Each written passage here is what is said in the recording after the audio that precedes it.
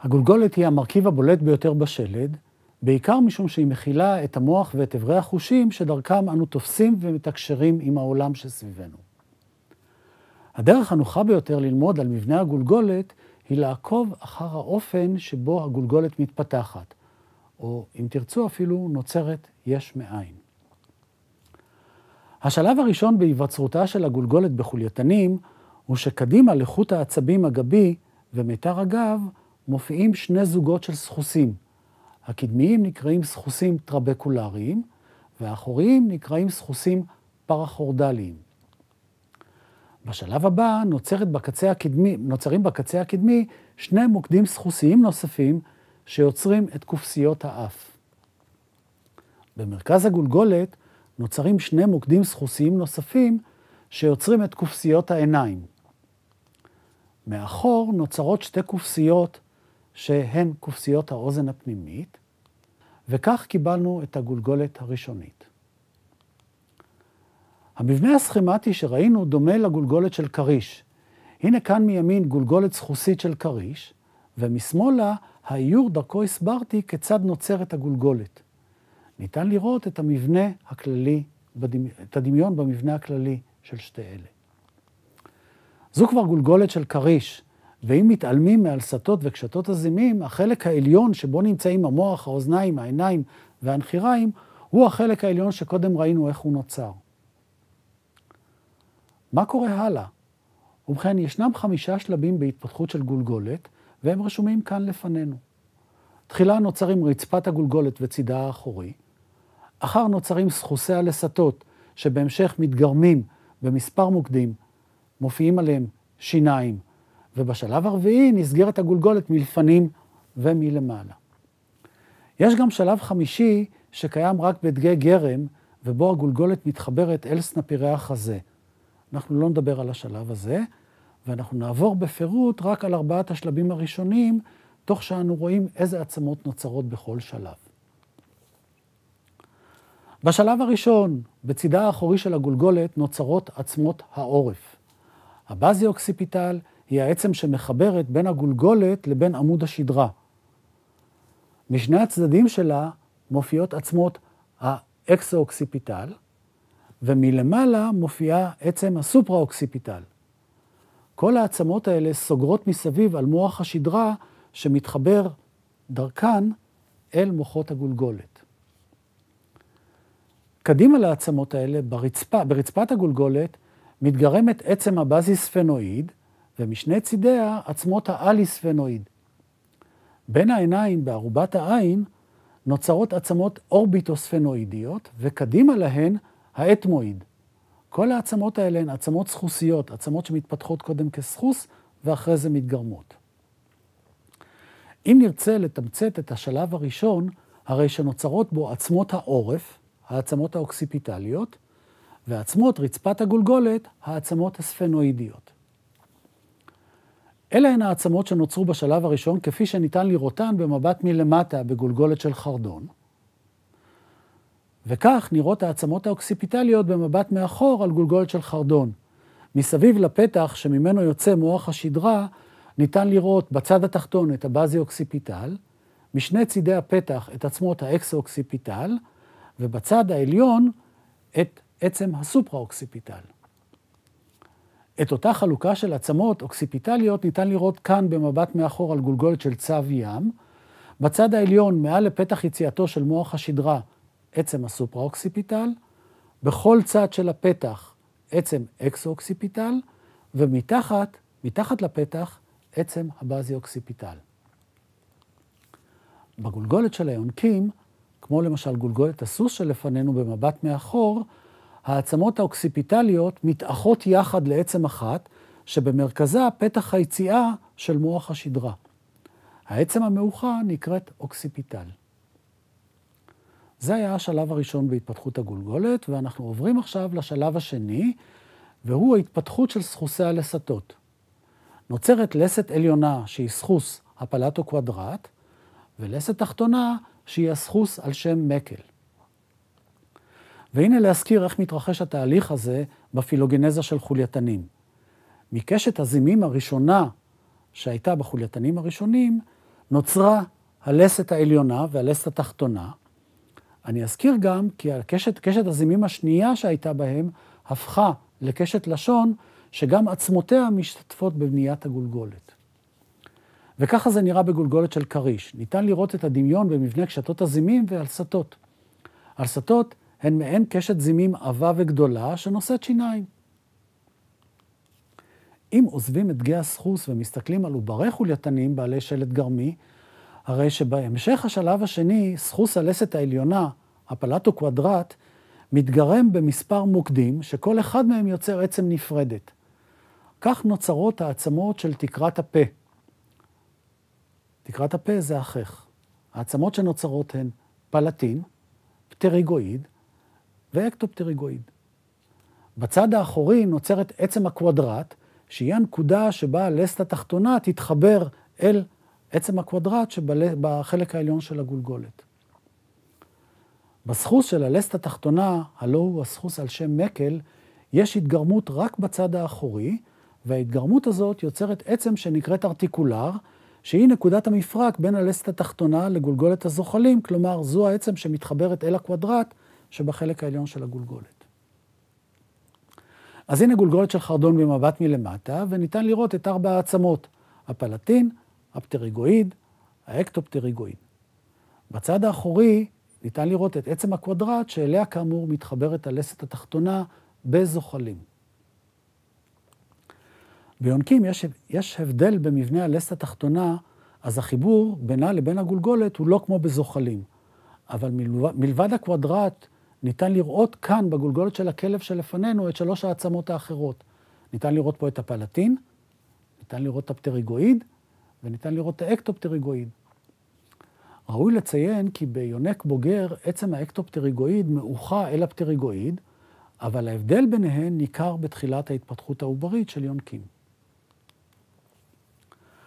אנחנו מגיעים לשלב השלישי בהתפתחות הגולגולת, ועכשיו העצמות, העצמות דרמליות שעליהן יש שיניים, מכסות את, שיני, את שולי הלסתות הסחוסיות. את החך, את הצד העליון, משלימות משני הצדדים עצמות המקסילה, וביניהן מלפנים פרמקסילה. מהצדדים, מאחרי המקסילות, מופיעות עצמות jugal, ובהמשכן עצמות quadratojugal, שמחברות בין ה jugal ל quadrate. את הלסת התחתונה משלימה עצם dentary שנושאת שיניים, ועוד כמה עצמות קטנות, surangular, angular ו coronoid. נראה את השלב הזה בגולגולת של זוחל. הנה כאן, במבט מלמטה, עצמות ה maxilla. בכל צד יש מקסילה, וביניהן מלפנים פרה-מקסילה. והנה במבט מהצד גולגולת של זוחל. בקצה הקדמי הפרה-מקסילה, מאחריה והצידה המקסילה, בהמשך הג'וגל, הלאה עצם הקוודרטו ג'וגל, שמתחברת לקצה האחורי של הגולגולת, שבזוחלים הוא עצם הקוודרט. ביונקים המצב שונה מעט. עצם הקוודרטו ג'וגל נעלמת, עצם הקוודרט הופכת לחלק פנימי באוזן, אז מבחוץ ניתן לראות רק את הפרמקסילה, מאחריה את המקסילה, ומאחריה את הג'וגל. וככה זה נראה בגולגולת אמיתית במבט מלמטה.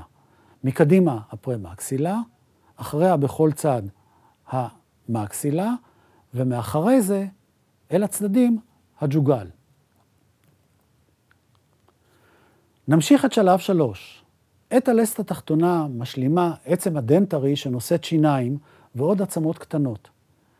עצם קורונואיד שבולטת למעלה מעל לקו הלסת, עצם האנגולר בצד התחתון האחורי, ומעליה עצם סור אנגולר. לאלה מצטרפת עצם הארטיקולר שראינו קודם שנוצרה מהתגרמות של הסחוס על שם מקל.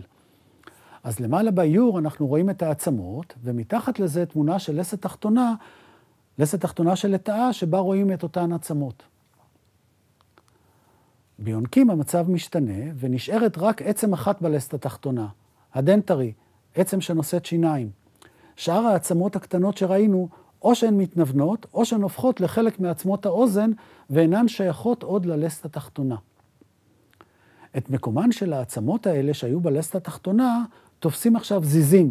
כלומר, שלוחות בולטות של עצם הדנטרי בדיוק באותם מקומות שהיו העצמות, ועם אותם תפקידים של העצמות האלה. את המקום של עצם הקורונואיד תופס, תופס עתה זיז הקורונואיד, הקורונואיד פרוסס. את המקום של עצם האנגולר תופס, תופס עתה זיז האנגולר, האנגולר פרוסס. את המקום של עצם הארטיקולר, שחיברה בין הלסת התחתונה לגולגולת, תופס עתה זיז הארטיקולר, הארטיקולר פרוסס. אבל כל הלסת התחתונה ביונקים עשויה רק מעצם אחת בלבד, הדנטרי, כפי שרואים באיור וגם בתמונה שלפנינו. עתה הגענו לשלב הרביעי, בו העצמות הדרמליות סוגרות על המוח מלפנים ולמעלה. מלפנים אלה זוג עצמות ה nasal, מלפנים ולמעלה אלה זוג עצמות frontal, ולמעלה ואחורה אלה זוג עצמות ה parietal. מתחת ל parietal והצידה מופיעה עצם הרקה, ה squamosal, ובכך מושלמת הצורה של הגולגולת כקופסה שסוגרת על המוח. את ארובת העין משלימות עצמות ה lacrimal, ה post-orbital וה prefrontal, ומקדימה לה במרכז האף, באמצע בפנים, מופיעה ה vomer. ואילו את מרכז הגולגולת מלמטה, בתוך החך, משלימה עצם ה presphenoid. והנה כך נראה השלב הזה בזוחלים. מלפנים ה nasal, מאחריה ה frontal, ומאחור ה parietal. אותו דבר ביונקים, רק שכאן העצמות האלה גדולות יותר. מלפנים הנזל, מאחריה הפרונטל, ומאחור הפרייטל. את רצפת הגולגולת משלימה כאמור מלפנים הפרספנואיד, והנה כאן עצם הפרספנואיד בגולגולת של חרדון. ופה עצם הפרספנואיד ביונק. אנחנו לא נראה את העצמות הנוספות שחלקן מסתתרות בחלקים הפנימיים יותר של הגולגולת, ונוותר גם על השלב שקיים רק בדגים, ובהם הגולגולת מעוגנת לחגורת הגפיים אל חגורת החזה. אז הנה גולגולת של זוחל, ואם עוברים על העצמות מלפנים אחורה לאורך צידה העליון, אז אנחנו רואים את הפרמקסילה, את הנזל, את הפרונטל והפרייטל.